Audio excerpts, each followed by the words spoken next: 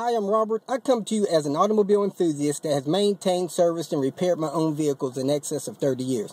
I currently drive a car with over 230,000 miles on it, and I once had a car that had over 400,000 miles on it and ran very well. While you're watching the video, please watch a step or two ahead.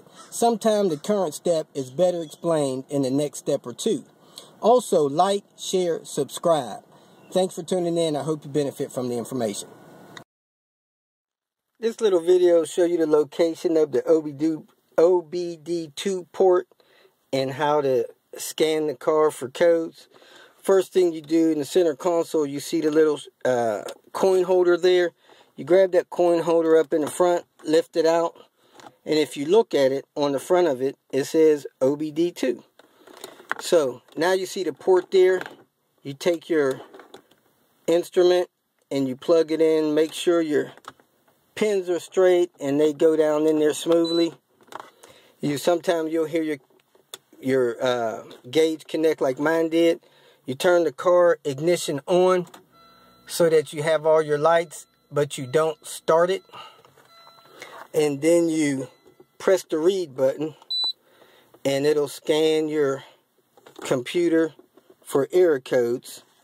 And if you got a meter like mine, it'll ask you to select the type of vehicle you have once it uh, once it does its scan. So let's see what happens here. One moment. Okay, I'm gonna hit fun for check my trouble codes. I'm gonna go down here to Volvo. Hit fun again. And I have this uh, 171 system 2 lean. I got two codes. Check the next one of 422 catalytic converter efficiency that could be a rear O2 sensor or the catalytic converters going bad. So those are the two codes stored in here on this car. So after you do that, you turn the car off. You unplug the thing and put the dust cap back on it. If you got any questions, go ahead and post them here.